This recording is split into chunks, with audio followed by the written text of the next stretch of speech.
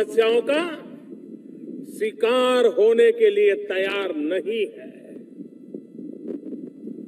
वो देश बदलना चाहता है, स्थितियाँ बदलना चाहता है, और इसलिए उसने तय किया है कि बस अब टाला नहीं जाएगा, अब टकराया जाएगा, निपटा जाएगा।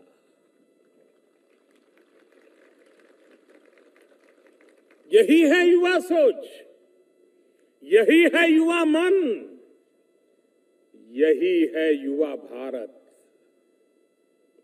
अतीत की चुनौतियाँ, वर्तमान की जरूरतों और भविष्य की आकांक्षाओं को ध्यान में रखते हुए हमें एक साथ काम करना होगा।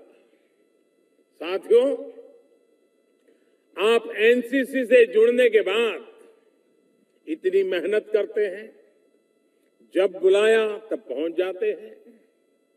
पढ़ाई के साथ साथ घंटों तक ड्रिल, प्रैक्टिस, सब एक साथ चलता रहता है।